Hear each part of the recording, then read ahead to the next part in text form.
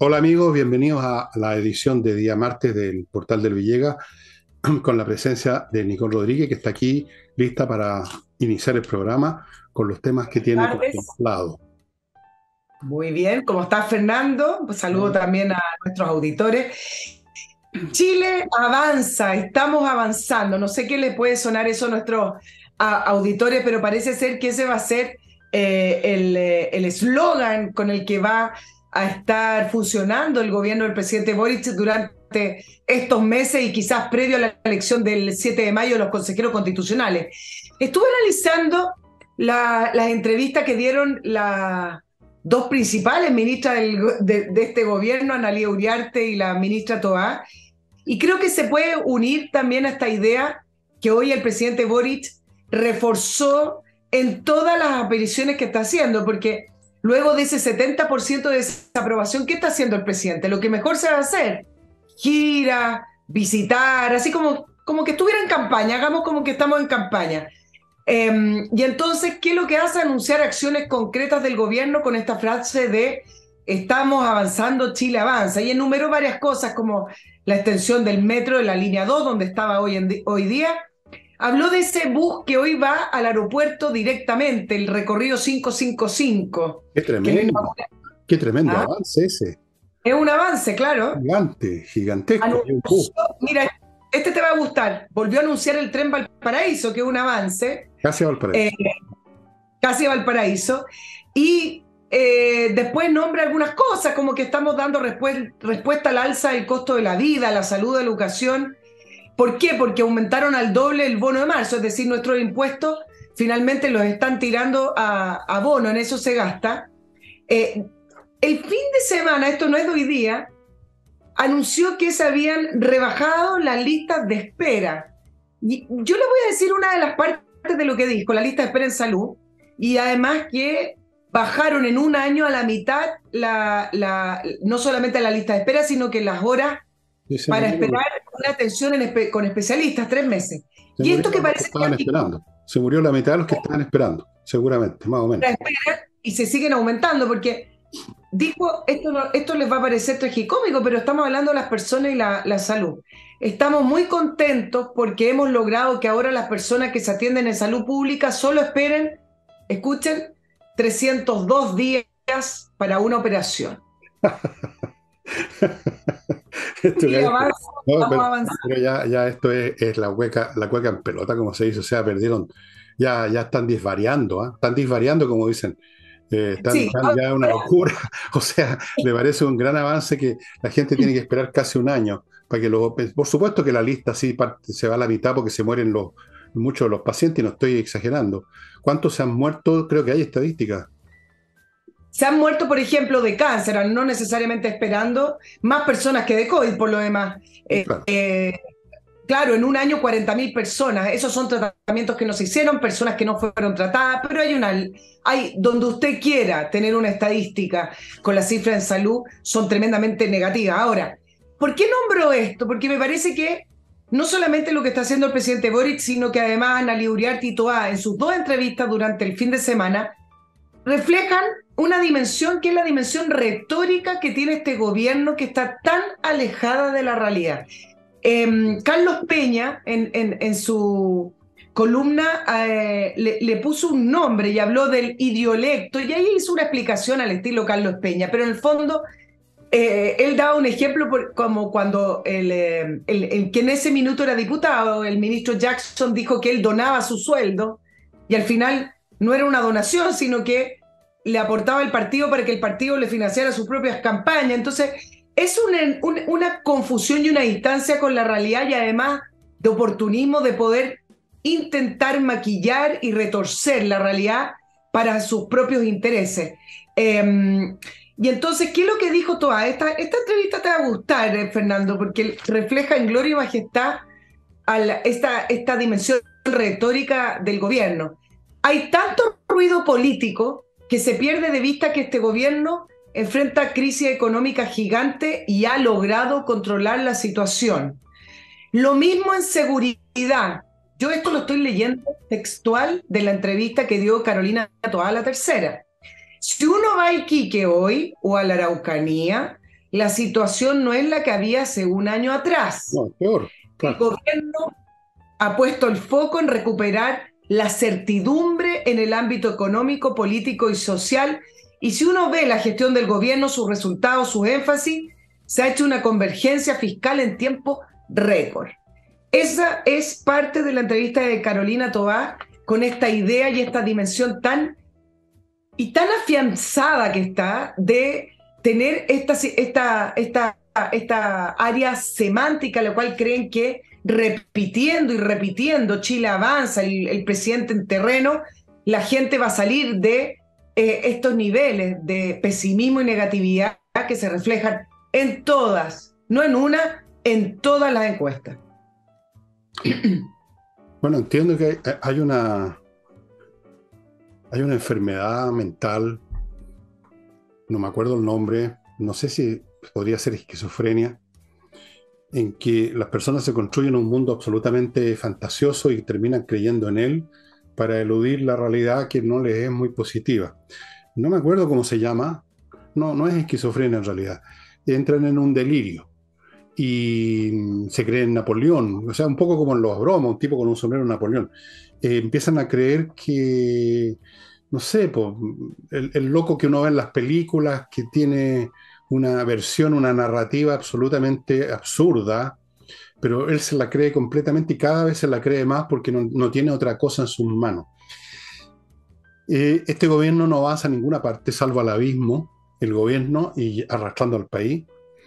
Y han caído más y más y más en lo que, en lo que siempre se ha movido la izquierda. La izquierda siempre se ha movido en el territorio de la retórica, de los discursos, del cantinfleo, con algunos mayores o menores, según los casos, contactos con la realidad, leves, pero algunos contactos, pero un gobierno que le va tan mal como este, tan inviable, que no es capaz ni de hacer la revolución que quiere, ni de gobernar como debiera, eh, han cortado toda, todo contacto y se están elevando como un globo, un globo con gas, que se eleva y se eleva y se eleva y ya no tiene contacto ninguno. Y como no tiene contacto ninguno, los que van en ese globo piensan que están bien. Capaz que estas dos señoras que tú dices, que son dos genios resplandecientes, como sabemos todos, creen efectivamente que el país está avanzando, que se está tranquilizando la Araucanía, que se está tranquilizando todo, que la economía se está sanando. Eh, ya ni siquiera me atrevo a decir que son mentirosos, porque cuando un mentiroso cree en lo que, en lo que miente, ya no es mentiroso, simplemente es enfermo mental, digamos. El mentiroso sabe que está mintiendo. Los que no saben que están mintiendo están en un estado de delirio, simplemente. Y este gobierno entró, parece, en la fase del delirio y creen que pueden reconstruir la realidad, a lo mejor en eso consiste esa idea de la construcción de la realidad, que la pueden reconstruir con palabrería. Eh, ¿En qué va a terminar esto? No lo veo muy bueno para el gobierno. Yo creo que no, no, tienen mucha cuerda por delante. De una forma o de otra se va a producir alguna crisis que va a hacer explotar ese globo que sigue subiendo. Sí, ahora hay otra área que, quería cortito eh, analizar contigo y nuestros auditores que tanto también opinan con respecto a las entrevistas del fin de semana, porque saqué otra conclusión, aparte del tema retórico. En la entrevista a Ana Liuriarte, cuando finalmente dice que los indultos los decide el presidente y el gabinete apoya esa decisión, ya hizo una explicación. Yo creo que con esa frase y otras que dijo la entrevista que ustedes también pueden revisar, yo creo que queda de manifiesto y queda zanjado el tema de las dos almas famosas del gobierno, porque el gobierno no tiene dos almas. Tanto se repite como la entrada del socialismo democrático como que fuera a marcar una diferencia en el programa de gobierno. Ana Leuriarte, la ministra Toa, Marcel no, no estuvo tan implicado, pero eh, ambas que están en la primera línea del comité político han apoyado por lo menos los indultos y si no los apoyan, no lo han dicho y por lo tanto, ¿qué diferencia hace? Las dos almas del gobierno, con la respuesta de Ana Uriarte, finalmente queda acá zanjado el tema de que no existe tal dos almas, hay un alma que se compone de dos pactos políticos, ya vamos a hablar de eso por las listas de, candidatos, pero finalmente el itinerario y el programa de gobierno es el mismo. Y fíjate que hoy la vocera de gobierno, porque están todos en terreno, Fernando, porque hay que subir el 70% de desaprobación, hay que bajarlo y subir la aprobación del gobierno, así que están, están como hacen como que trabajan, así que están todos en la calle. Y hoy día la, ministra Vallejo, a propósito de las dos listas o listas, eh, dijo lo siguiente, para, también para reforzar un poco la idea de lo que tú dijiste en el programa de ayer. Nosotros estamos en un momento donde estamos logrando cada vez más hacer una síntesis de nuestro proyecto transformador. Es decir, el proyecto no ha cambiado, el que quiere integrar el gobierno puede venir, pero nuestro proyecto sigue siendo el mismo. Bueno, así es como se están enterrando, están en medio, están medio sepultados y ellos mismos están paleando, son, son el cadáver y el sepulturero al mismo tiempo, una situación muy curiosa. Nunca tuvieron dos almas, esto lo hemos conversado antes, Nicole, y creo que está clarísimo que es un alma un alma confusa en todo caso, un alma que está en estado de delirio ahora, que cree que puede gobernar o subir rating recorriendo los medios de comunicación, donde además ahora los periodistas son un poquito menos, menos claudicantes, menos, menos etcétera que antes, porque se dan cuenta, están olfateando con ese, esa, esa, no sé si llamarlo oportunismo, sentido de la oportunidad, que ven que los vientos están cambiando. Yo no sé qué en qué creen, pero nunca tuvieron dos almas. es un alma revolucionaria al peo, no, que no tiene claridad, que ni siquiera se atreve a hablar de sí misma. Piensa tú lo siguiente, cuando yo era nene, joven, los socialistas decían de frente, vamos a hacer construir el socialismo. Allende decía, vamos a construir el socialismo con vino tinto y empanada. Se era socialista, se creía en el socialismo, se creía en la planificación central, se hablaba del área social de la economía, montones de empresas controladas por el Estado. Todo eso era, por supuesto, ruinoso, pero ellos creían en eso y lo decían francamente, y muchos chilenos lo creían también y lo seguían. Ahora, estos revolucionarios, que no saben qué es lo que van a hacer porque tienen una cierta sospecha que el socialismo no funciona, no se atreven a decir su nombre, no se atreven a presentarse, no se atreven a decir esto es una revolución porque estamos cambiando las instituciones, cambió la élite del poder. No, lo llaman transformaciones profundas. Entonces, son un alma un alma, no dos, pero un alma realmente en un estado de salud muy precario, Nicole, muy, muy confuso, delirante y fracasado. Yo creo que ya fracasaron, lo he dicho, me, quedó claro hace ya un, tiempo, fracasaron, su proyecto fracasó y lo están sustituyendo por la retórica y salir a la calle hacer qué, no sé, y no creo que les vaya a ir muy bien, ¿ah? ni en los medios de comunicación ni en la calle. O sea, cuando dicen la calle, por supuesto, no salen a la calle de verdad, no se atreven a, poner un pie en la calle de verdad, ¿no? Porque yo creo que los pifian, no sé, ya hemos visto videos de eso. Claro, ahora, a propósito de, la retórica, recuerda esos tiempos en los que nos comparábamos con otros países latinoamericanos y decíamos, qué suerte, qué bueno que nosotros somos reconocidos por seriedad, somos reconocidos eh, por eh, nuestra certidumbre, por el respeto y además porque nuestros políticos actuaban responsablemente, en alguna medida. Todos los, países tienen problemas con la política y con sus políticos y todos tienen ciertas capas de ineficiencia, corrupción, etcétera, pero nos diferenciamos de Latinoamérica. Y hoy día escuchando al presidente Fernández, para que luego hablemos de la CELAC, que se mandó una declaración que dijo que parte de la inflación de Argentina estaba en la cabeza de los argentinos, es decir, en el imaginario de los argentinos. Y nosotros siempre antiguamente escuchábamos, veíamos estas cosas de Cristina Kirchner, de Néstor Kirchner, de, de, estos gobernadores progresistas populistas, y hacíamos así, Maduro, Chávez, que también inventaban, vamos a construir esto, inventaban cosas. a mí me parece que Chile hoy, la clase gobernante que tenemos, o el grupo gobernante que tenemos, y también en el Parlamento, no nos diferenciamos de eso. Hay muchas veces que todavía escucho esos comentarios como, mira lo que, lo que dijo el presidente Fernández. ¿Cuál es la diferencia de la cantidad de absurdos que también habla nuestra clase política, nuestro propio presidente y nuestra coalición gobernante y nuestros congresistas? Me parece que hoy en día no nos diferenciamos en nada.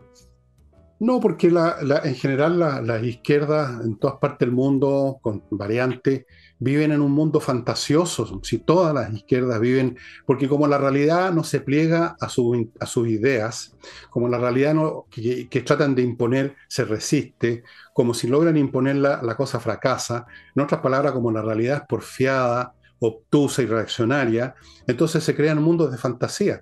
Recordemos, estimado amigo, para poner un caso que llega a ser para la risa, que en la Unión Soviética existía una publicación, creo que era bianual o, o trianual, que era una, especie de enciclopedia, la enciclopedia de la Unión Soviética. Y fíjate que, según, para la risa, según las circunstancias políticas, la misma historia que tú habías leído en la, en la edición anterior ya había cambiado, incluso habían cambiado las fotos. O sea, ellos no viven en la realidad, no la aceptan. Tratan de, como todos los utopistas, creen en una utopía que no funciona y en la medida que no funciona, por una parte se ponen delirantes y por otra parte se ponen opresivos. Como la gente no se pliega, la obligan a bayonetazo limpio, la obligan a la fuerza, la meten al gulag, la, o ahora la cancelan. Entonces, nada de raro. Como están gobernando izquierdistas en este momento en Chile, evidentemente están gobernando estos delirantes. No, nada de raro. Permíteme ir a mi primer bloque, Nicole. ¿Me das permiso? Por favor, adelante. Adelante estudios.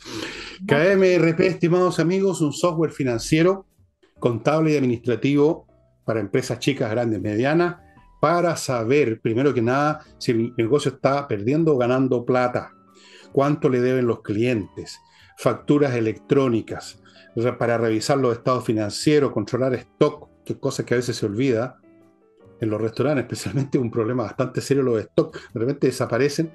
Todos sabemos eso. La, procesar remuneración, archivos de Previ-Red, se integra con los bancos, se integra con el servicio de impuesto interno, en fin, un montón de servicios que yo lo invito a conocer en el sitio de ellos. KMERP, ustedes están viendo la dirección aquí a mi derecha. Siempre todo a mi derecha. Continúo con Edifito, una empresa que ofrece un software esta vez para administrar edificios en todos los ámbitos de un edificio la contabilidad, la administración del personal, la parte física, las cosas que hay que hacer físicas en un edificio, que los jardines, que esto, que lo otro, millones de aspectos, es, una cosa complicada. Hay un software que lo tiene Edifito y ha sido, y ha sido, y tan eficiente en su funcionamiento que está en miles de edificios en toda América Latina. Así es que le sugiero que entre a Edifito para que se facilite la vida.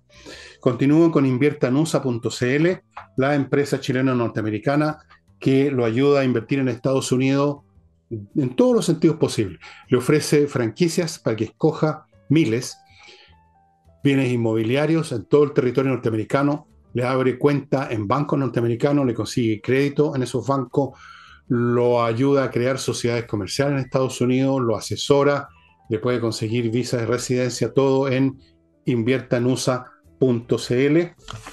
Y termino el bloque con KM Tickets. Señoras y señores que les gusta viajar, este es el outlet de sus pasajes aéreos, lo más eficiente, no pierda tiempo dándose vuelta en la internet en busca del arco iris. KM Tickets le entrega los mejores precios del mercado, cotice su próximo vuelo en www.kmticket.cl y siga a esta empresa en Instagram y participe en el sorteo de un pasaje a Río. Las izquierdas son iguales en todas partes porque más o menos participan en grados mayores o menores de, la misma visión fantasiosa del mundo, de la naturaleza humana, de la naturaleza de las sociedades, de lo que se puede y se debe hacer. Y como no le achuntan, como no tienen contacto con la realidad, terminan todos como Fernández, pensando que la inflación es un invento de la cabeza de los argentinos, o como acá en Chile, creyendo que un desfile por los medios de comunicación va a hacer que desaparezcan los problemas de inmigración, desaparezca la inflación, desaparezca la falta de inversión, desaparezca la violencia, etcétera. Una construcción verbal de la realidad, podríamos decir. Debe haber un nombre para esta enfermedad psiquiátrica. Si hay algún psiquiatra o psicólogo viendo este programa, ¿por qué no nos ilustra? A propósito de, construcción de realidades, mañana, hoy para nuestros auditores comienza la CELAC, eh, la, reunión eh, de la comunidad de estados latinoamericanos y del Caribe en este séptimo o séptima cumbre en Buenos Aires. les quiero hacer un, poco de, de, memoria con respecto a la CELAC. Fue creada el año 2010 por Hugo Chávez, y Raúl Castro. y en esa época. Por eso hago, esta mención. En esa época, ¿quiénes estaban en sus respectivos gobiernos. En Ecuador estaba Rafael Correa, estaba Michelle Bachelet representando a Chile, Lula Morales en Bolivia, etc. Por lo tanto, al momento de la creación de la CELAC, había todos esos países gobernados por eh, gobernantes de izquierda, lo que se llamó el eje bolivariano en ese momento. Em, pero posterior a la creación, prácticamente la CELAC no ha funcionado, porque con el cambio de signo de esos gobiernos, la CELAC quedó paralizada. ¿Por qué? Porque la CELAC se creó, principalmente como un foro no de integración, bueno, esa es la declaración, de integración económica, social, eh, de ayuda comunitaria, etcétera, sino que más bien para hacerle peso a la OEA. La OEA que para Hugo Chávez era un eh, organismo que utilizaba el imperialismo, acuérdense. Entonces, en esta oportunidad que le tocaba la presidencia pro tempore a eh, Fernández en Buenos Aires, se realizó, se va a realizar esta séptima cumbre y no fue invitado Luis Almagro de la OEA, dado que para ellos la OEA es la, institución contraria y además porque siempre se le criticó a Luis Almagro que no apoyó a Evo Morales en ese intento de reelegirse infinitamente como presidente de Bolivia cuando tuvo que salir exiliado de, Bolivia. Ahora, ¿Qué es interesante de, ver en el, en el, contexto que se va a desarrollar la CELAC? Ya voy a hablar de, Maduro, que ha sido el, protagonista en estos días. Fueron invitados países como Nicaragua, Cuba, bueno, y Venezuela. Recuerden que estos tres países no fueron invitados a la Cumbre de las Américas en Estados Unidos el año pasado, cuando fue toda esta polémica de que algunos países no querían ir. Además, Fernández, ¿a quién invitó? Y acá ustedes pueden ver ¿Qué es lo que se está construyendo? ¿Qué eje se está construyendo? ¿Cuál es la afinidad que tiene este grupo? Invitó a Xi Jinping, que se va a conectar con la CELAC, pero a través, eh, vía online, por Zoom o telemáticamente, porque Xi Jinping no va a viajar. Invitó a José Luis Rodríguez Zapatero, muy cercano, no, no cercano, prácticamente hermano de, de Maduro, quien se ha encargado de hacer el lobby internacional por Maduro para que Maduro pueda salir del ostracismo internacional y volver al concierto internacional. Invitó a Morales, Fernando, que ni siquiera es presidente de Bolivia. Bueno, Morales está, está em, en Buenos Aires, se asiló en Buenos Aires, bueno, en Argentina. Eh, no puede entrar a Perú, lo declararon persona no grata y sin embargo Fernández lo, lo, lo invita. Ecuador no va por, protesta por haber asilado a funcionarios del gobierno de Correa en Argentina. pero no puede por los problemas que tiene y México, eh, AMLO mandó a, su canciller. Em, y ahora quiero hablar de Maduro porque Maduro supuestamente iba a ir hasta este minuto que estamos grabando. Maduro no va. Eh, y Maduro no iría si es que no se presenta en Buenos Aires. Había confirmado, mandó un equipo de avanzada que estaba trabajando la semana pasada pero ¿qué pasó? Que la oposición argentina solicitó arresto para Maduro por crímenes de lesa humanidad, respaldándose en el informe que elaboró Michelle Bachelet, además de otras acciones judiciales que entraron a tribunales para poder arrestar a Maduro. Pero yo acá quiero hacer un punto. Sí, hacer, Maduro, déjeme, hacer otro punto. ¿Qué pasa con Chile? ¿Va a sumarse a esa cuestión? Chile viaja, Boric viaja mañana, o sea, hoy, martes. Claro ah, que Chile está. Qué bien, qué bien, muy bien. Me parece que vaya ese congreso de puras democracias maravillosas. Qué menos. Ese es el punto, cuando la CELAC declara en sus principios que ellos eh, están por el pleno respeto de los derechos humanos y las democracias, no se puede invitar a dictadores. Y acá no es un problema de semántica o es un problema de, de cómo se mira. Nicaragua es una dictadura, Cuba es una dictadura, Venezuela es una dictadura. Maduro estuvo toda la semana diciendo que con su amigo Fernández iba a reunirse, tenía una bilateral con Lula y resulta que eh, fue cancelada mientras grabamos. Pero yo acá quiero hacer un punto que les va a parecer un poco disonante, pero si es que Maduro hubiera viajado, vamos a dejar de lado las acciones judiciales y seguramente no va a viajar por el susto. Maduro viajaba a la CELAC en Buenos Aires en su mejor momento. ¿Por qué me van a decir? Porque resulta que la oposición, dime Fernando. No, diga, siga, siga. Sigue. La oposición en Venezuela ya sacó a Guaidó de su cargo y la oposición no ha podido ponerse de acuerdo en cómo van a seguir.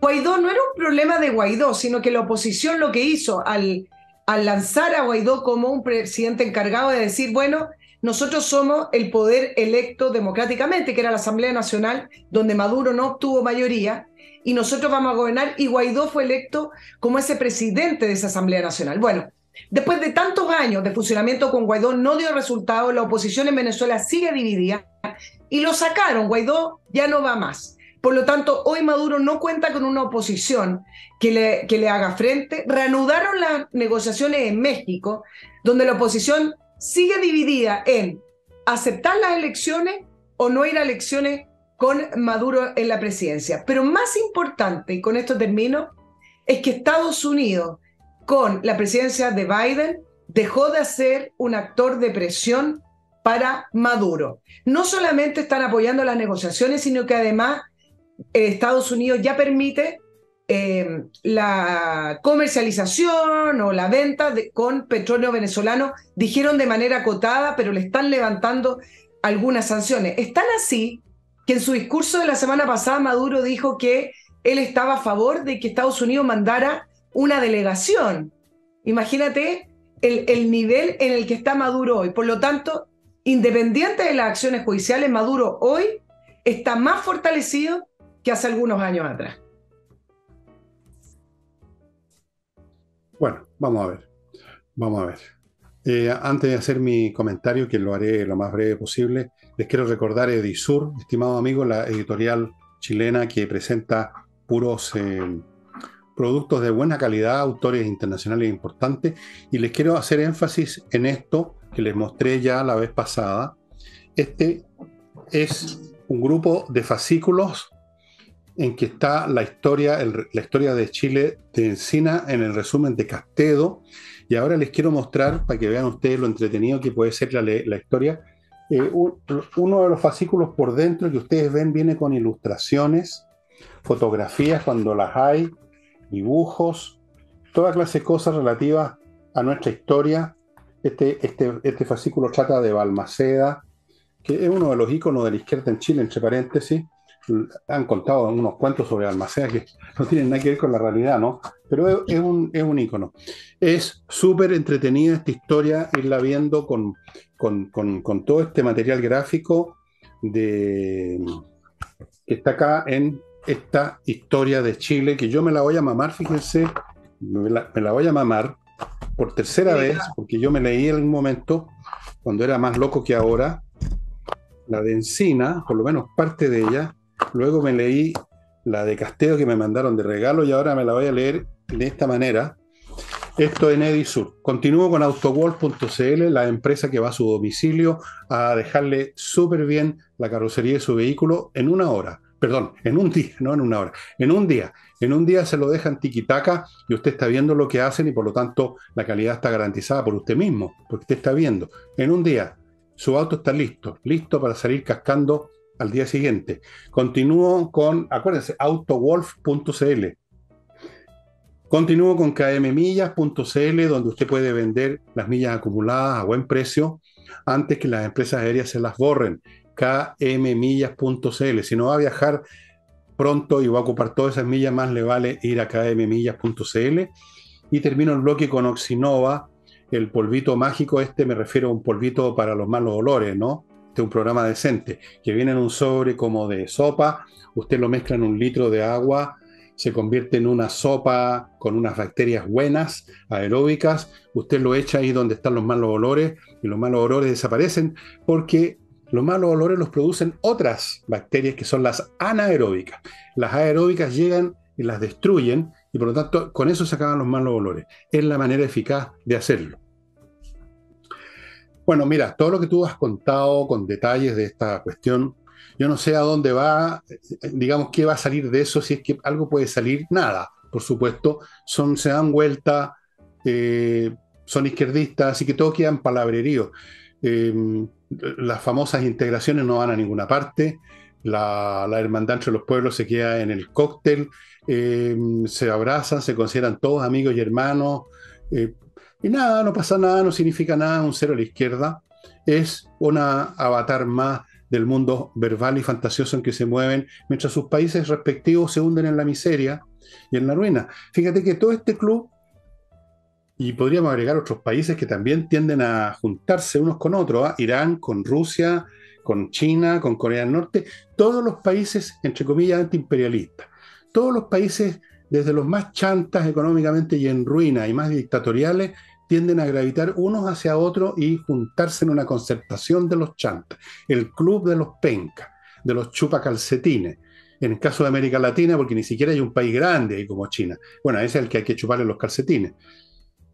Te voy a decir un pronóstico para unos 10 o 20 años más. Los chinos se van a apoderar de la mayor parte de las economías de todos estos países latinoamericanos rascas de izquierda.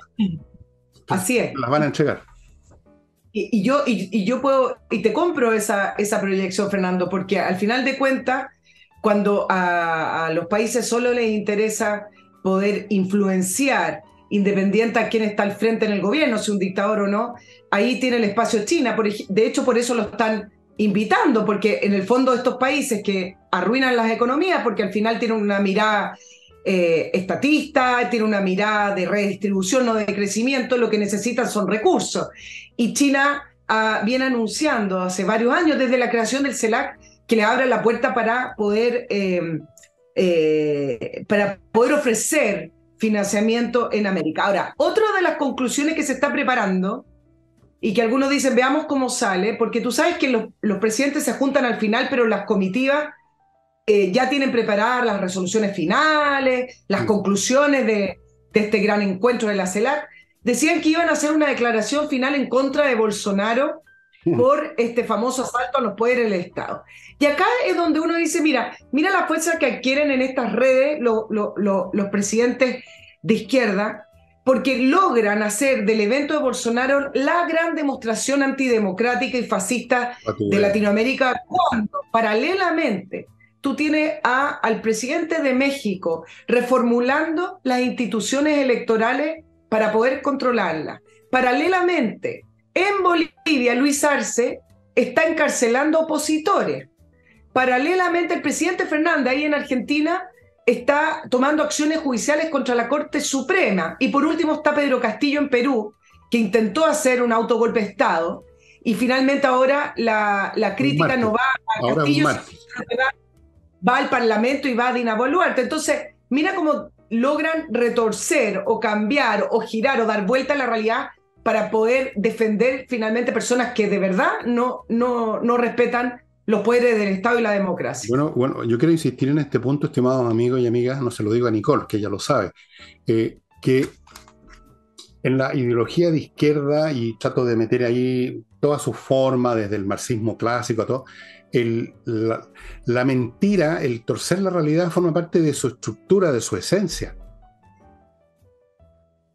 yo no quiero que se enojen conmigo las personas de, religiosas, pero si ustedes examinan fría y objetivamente las doctrinas de las religiones, van a observar también que es una construcción que si ustedes la observan con un poquitito de sentido común van a darse cuenta que son insostenibles nomás, pues. Son insostenibles y sin embargo sobre esa base se crea todo, una iglesia, un credo, seguidores, feligreses, cura, eh, rabino, eh, de todo, todo, de todo, esto, esto es válido para todas las religiones. Yo no tengo aquí prejuicio a favor ni en contra ninguna. Me parece que todas son unas construcciones verbales fantasiosas que no resisten el menor análisis de la lógica. Y sin embargo es un hecho que millones de personas se mueven en ese mundo, lo creen completamente y en este mismo momento me están algunos creyentes aquí seguramente crucificando. Bueno, con el izquierdismo pasa lo mismo. Construyen unos mundos fantasiosos donde todo es al revés, como en ese libro 1984, donde el Ministerio de Guerra se llama el Ministerio de la Paz, donde los expertos en, inventar propaganda era el Ministerio de la Verdad, todo es al revés. Y créanme que no lo hacen cínicamente, o sea, sabiendas. Está incorporado en sus estructuras mentales. Así como el creyente, si uno le dice, mire, es imposible que tal o cual cosa que dice su libro sagrado sea cierto, sea va contra todo sentido común, no lo van a aceptar. Usted hay que crucificarlo, hay que quemarlo, hay que colgarlo, hay que condenarlo, pero evidentemente que ellos no van a perder su fe. Entonces, esto que está pasando y con el señor Boris, que es otro creyente, otro feligrés de lo mismo, bueno, no se puede esperar otra cosa. Pero por lo mismo siempre fracasan porque la realidad se encarga de darle un coscacho. Tarde o temprano esos regímenes se derrumban. Se derrumbó el socialismo, se derrumbó el allendismo, se, se va a derrumbar el madurismo eventualmente tarde o temprano. Estos que tienen, están, viviendo ahora el veranito San Juan porque Biden, los necesita por el tema de la guerra en Europa, por el tema del gas y del petróleo que cortaron los rusos, y entonces han tenido que ponerse un perrito de la ropa en la nariz y, darle la manito un poco, un dedo que sea maduro. Pero esto, estos regímenes, cualquier cosa que esté contra la realidad, al final la realidad le pasa una tremenda factura con intereses. Así que, y la historia lo muestra, cómo se han derrumbado todos estos regímenes. Todos, todos, absolutamente todos los que viven en la mentira y en la realidad se desploman. Se desplomó el nazismo, se desplomó el comunismo, se han desplomado los socialismos, se va a desplomar Maduro y desde luego se está desplomando el régimen de Boris acá en Chile. Claro, pero son décadas de, ruinas, son décadas de. No, dejan, dejan una estela, desde luego, ese es el problema. Claro, 6 millones de para Venezuela. El problema es ese, que dejan una, una estela de ruina que tenemos que recoger los platos rotos los demás. Efectivamente.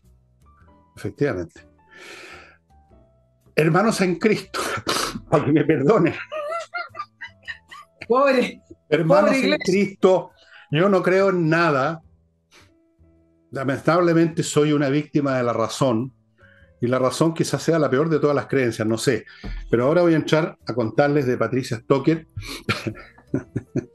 que es un grupo de profesionales que se encargan de registrar y defender y renovar y mantener su marca comercial para que nadie se la pueda robar y generarle problemas. patriciastocker.com. Compreoro.com.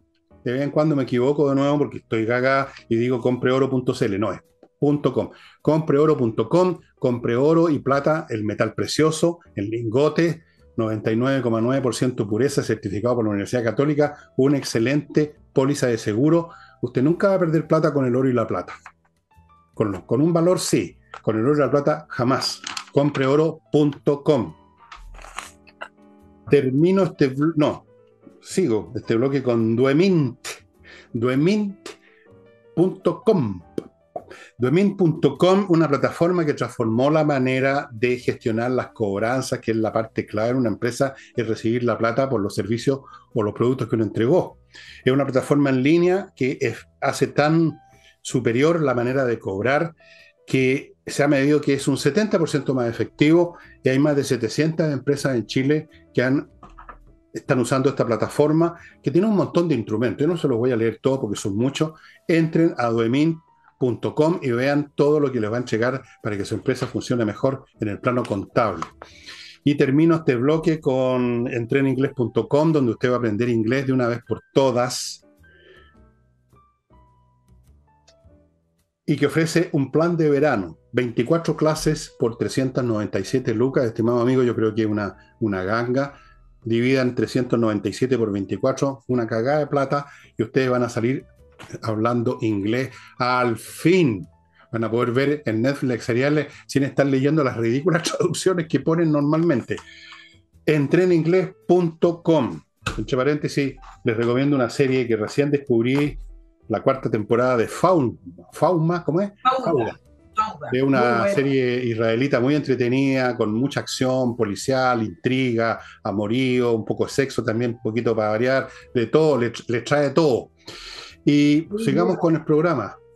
Vamos con el programa, Fernando, y vamos a lo que va a ocurrir esta semana con el nuevo proceso constituyente, porque mañana ya deberían presentarse los famosos expertos, de lo que voy a hablar eh, luego, de hablar de la inscripción de las listas de los 50 consejeros constituyentes que deben estar listas, listas y acordadas al 7 de febrero. El 7 de febrero es prácticamente a la vuelta de la esquina. ¿Qué cosas tenemos claro hasta hoy? Voy a hablar con respecto al oficialismo, que sí van a haber dos listas. ¿Cuál es la pregunta? Si se divide el socialismo democrático, es decir, va a estar el Partido Socialista junto a Pro Dignidad, Partido Comunista Frente Amplio, eh, contra la lista del PPD, Partido Radical y Democracia Cristiana, o si se divide el gobierno, es decir, si el Partido Socialista finalmente decide irse en la lista del PPD, de la democracia cristiana y del Partido Radical con el Partido Liberal, que son pocas personas. Es decir,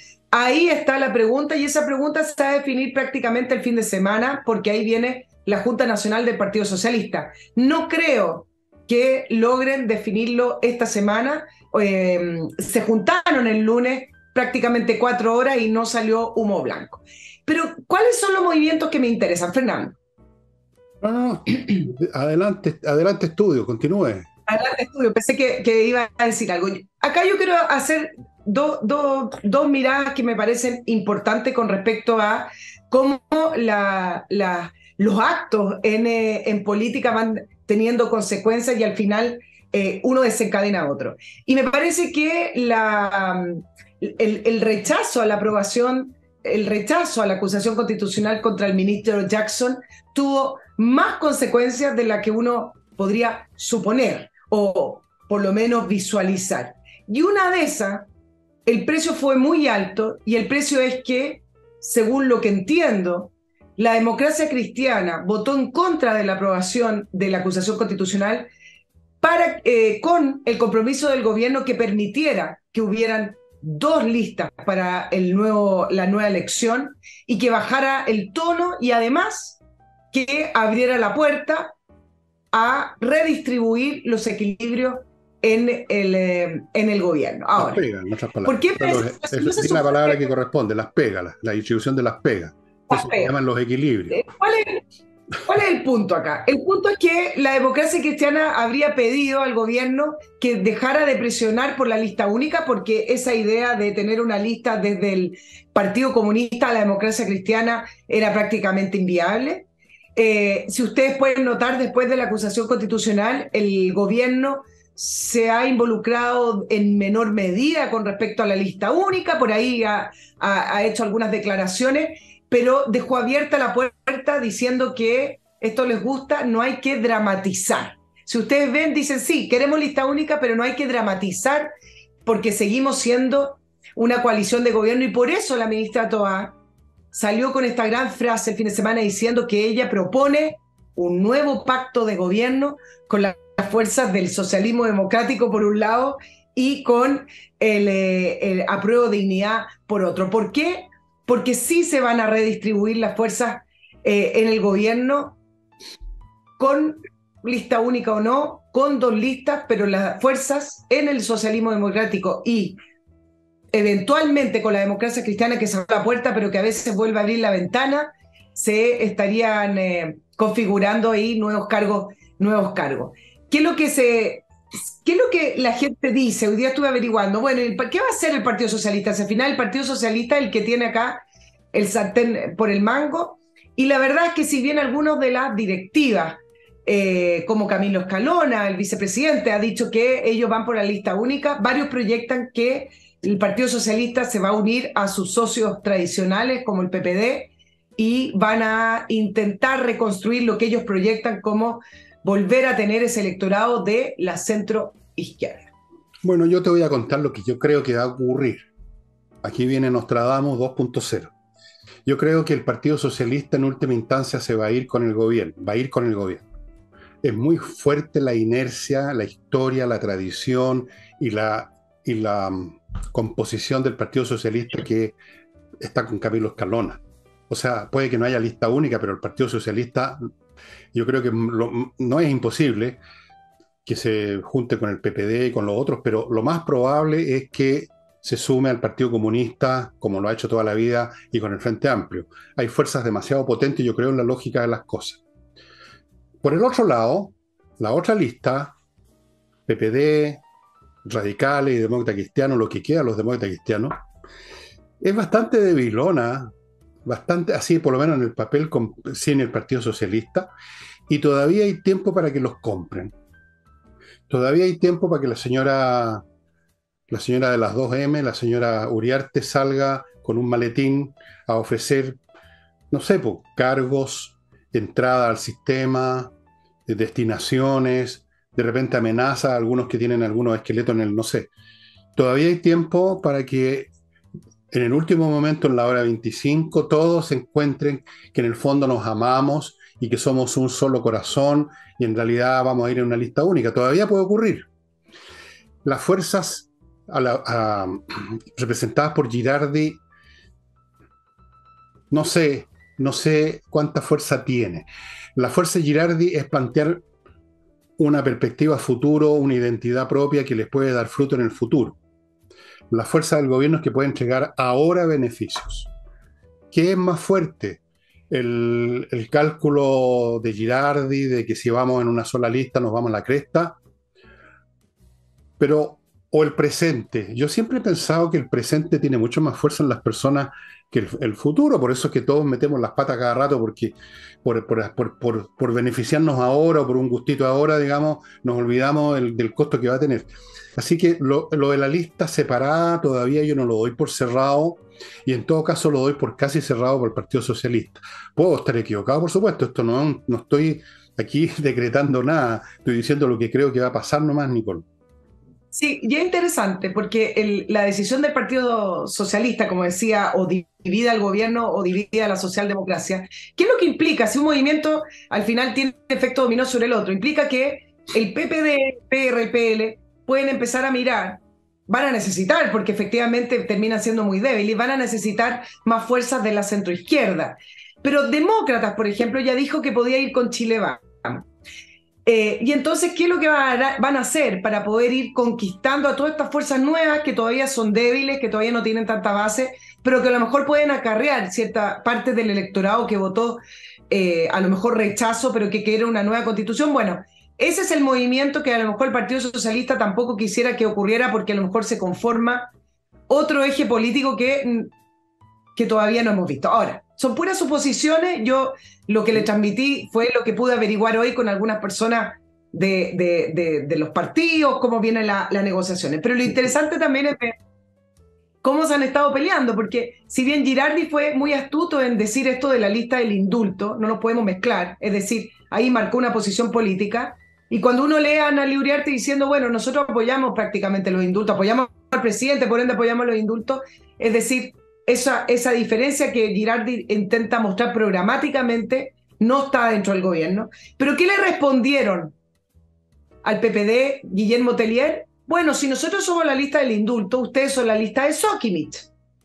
y entonces me, pareció una salida muy inteligente, pero yo le tendría que decir a Guillermo Tellier que no es solo el PPD la lista de Sokimich, sino que es transversal a todo el espectro político, porque Sokimich parece que tuvo boletas con todo. Bueno, por eso que de repente no, no, nos fijemos tanto en esto que llamas tú las negociaciones y los movimientos entre los partidos.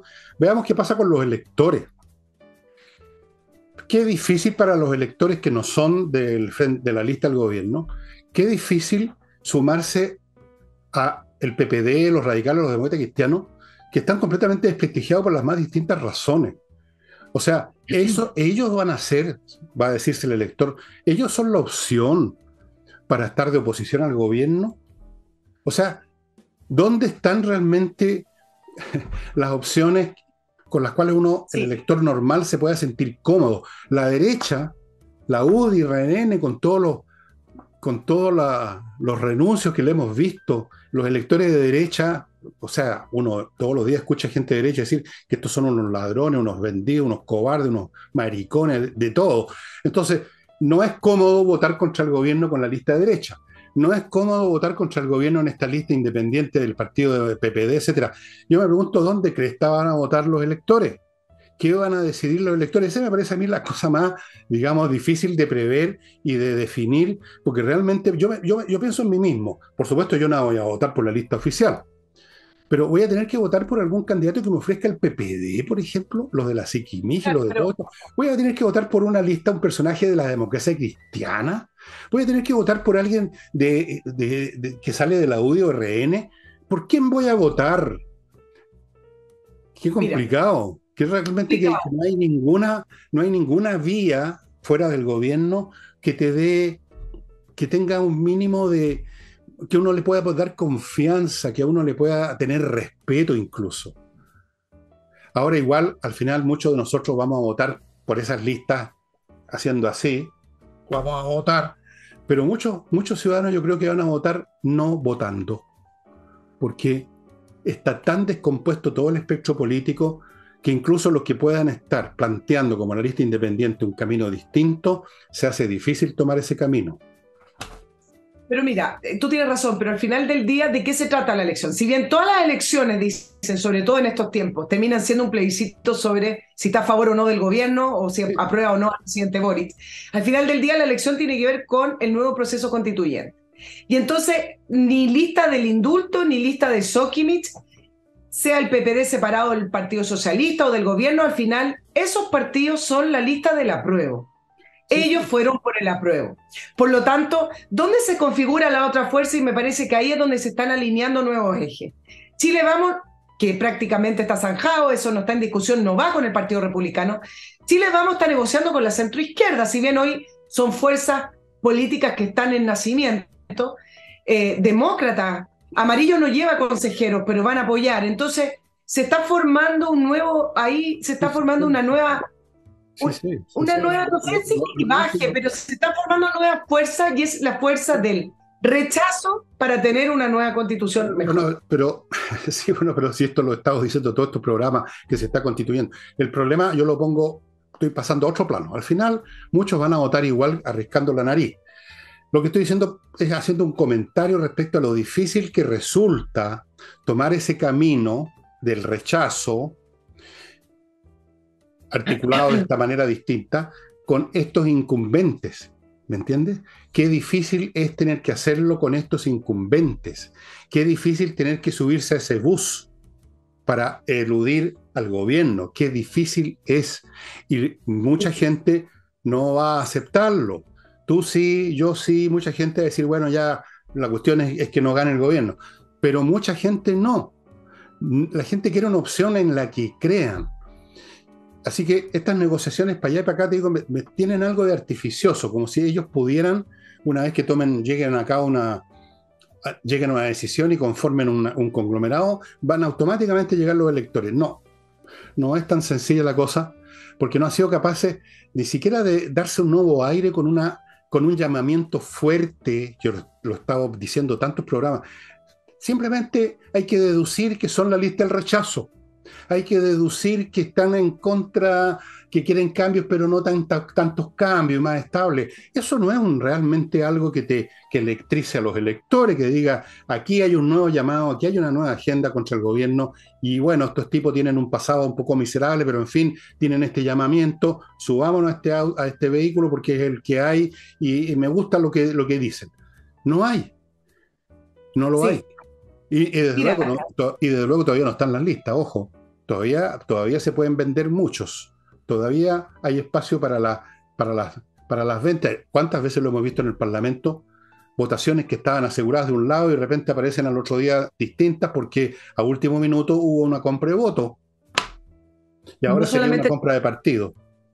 Te voy a agregar un dato. Por los equilibrios, como dicen ahora. Los equilibrios llaman a las pegas. Te voy a agregar un dato adicional. No solamente no está en la lista, bueno, no tienen hasta el 7 de febrero, sino que los partidos políticos están con problemas para conseguir a los candidatos para los 50 consejeros constituyentes. ¿Qué, qué, es lo que han concluido? Que no hay interés. Y no hay interés por múltiples factores. Por el lado de la izquierda, este proceso no les entusiasma, porque este es un proceso que ellos dicen tiene demasiado tutelaje, no es esta asamblea constituyente que ellos soñaron con épica, por lo tanto, no les interesa participar. Yo creo que al, final del día a la gente sí le interesa ser candidato de distinta manera. Pero bueno, en este minuto, en el día que estamos grabando, los partidos políticos están con serios problemas para conseguir candidato. Entonces, eh, no solamente no hay interés en la izquierda, sino que además, como las normas dicen que quienes son consejeros constituyentes no se pueden presentar a futuras elecciones, y este nuevo proceso está encima de nuevas elecciones municipales, parlamentarias y presidenciales, resulta que cualquier persona que participe no puede tener ningún tipo de interés bueno, ya en, Por eso que te digo Para terminar, y tú sabes lo que están haciendo, según lo que leí en algunos reportajes y estuve averiguando, le están ofreciendo esto, estas postulaciones a militantes históricos, es decir, a los antiguos de la concertación, en el caso del, del PPD, del PS y, del Partido Radical, lo mismo que la UDI y RN. y resulta que parece que les interesa. Este va a ser la fiesta de los vampiros. Van a exhumar cadáveres políticos. Exacto. qué buena. Bueno, ¿qué, ¿qué, persona con dos dedos de frente se querría pringar sumándose a, cualquiera de todas estas agrupaciones? Que a mí me vinieran a ofrecer cosas que no va a ocurrir, pero suponte, o a ti, oiga, usted sería candidato del Chile Vamos o de la lista del socialismo democrático, yo le haría tapa. No tengo interés en mezclarme con esas agrupaciones. Y mucha gente diría lo mismo, me van a pringar, esa es la expresión que se usa, me van a contagiar con todo lo que ustedes han sido y son hasta el día de hoy. Y sobre todo, como te digo, si no hay ningún llamamiento importante, sino que es puro lo que tú has estado diciendo, que negociaciones, transacas, que para acá, que para allá, lo de siempre. Eso no calienta a nadie, a nadie, salvo a los más pencas. Mira, van a terminar llegando figuritas de la televisión, del periodismo, personajes intelectualmente de izquierda, va a llegar toda esa gente. Van a poner a gente que a lo mejor es simpaticona. Estoy pensando en algunos animadores de televisión, los van a llevar. Vamos a ver cómo responde el electorado en esta cuestión, porque como te digo, está el tema del rechazo a la prueba, está el tema de oponerse al gobierno o no, pero está el tema también de lo difícil que es sumarse a partidos supuestamente más o menos de oposición o en paralelo, que no tienen ni llamamiento y que están pringados de, de arriba abajo la fatiga. O con lo que sea. La gran familia de los de Alibaba y los 40 ladrones, pues finalmente. Así, es, pues la fatiga constituyente, la paciencia de la gente que ya se siente alejada y desinteresada del. Yo igual voy a llamar a votar. pero, pero preocúpense de, nuestra, de nuestros problemas. Yo igual voy a llamar a votar porque hay veces que hay que elegir el mal menor.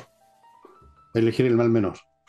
No sé por quién, por qué cadáver que saquen de, que saquen, digamos, del, baúl de los recuerdos, ah, quizás qué personajes van a sacar. Eso es interesante, ¿eh? ¿Qué muertos van a exhumar? Y los van a poner con unos, alambres para que parezcan vivos, los, van a maquillar con unos tanatólogos, a los cadáveres descompuestos los van a pintar.